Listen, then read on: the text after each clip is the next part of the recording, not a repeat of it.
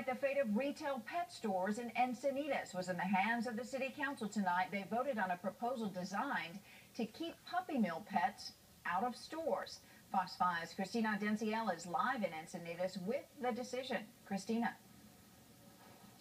Well, that's right, Kathleen. It was a unanimous decision, and uh, I should point out that Encinitas does have four businesses that offer animal adoption, including Petco and the Rancho Humane Society. But supporters of this particular ban said that they wanted this issue to be cleared up before it became a real problem for the city of Encinitas. Cheers at the Encinitas City Council Wednesday night after a unanimous vote by the City Council on an ordinance to ban the sale of pets from puppy mills.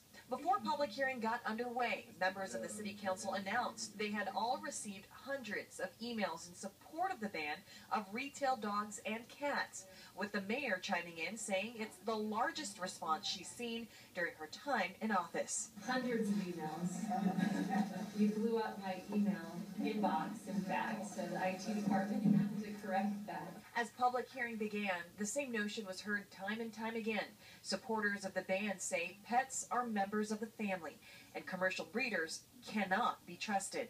We do this because we care, and we all have a moral duty to protect innocent animals. The citizens of Encinitas have the right to acquire a pet, pet that is free of such possible cruelty. Only one speaker voiced his opposing views on the ban, saying this is simply not an issue, as there is no selling of retail pets in the city of Encinitas. There is a reason why Encinitas does not have a puppy mill ordinance. It's because the problem is not here. When someone decides that they do want to sell breeder puppies, these people will rightly arise Supporters disagreed. We're looking at this as if it's sort of like a cancer and it's spreading. These people who keep coming into these cities and opening as many stores as they can, I'm afraid that Encinitas could be next. In April, the San Marcos City Council voted to approve a temporary ban of pet stores within its city. Oceanside did the same earlier this year. San Diego and Chula Vista have also approved similar bans.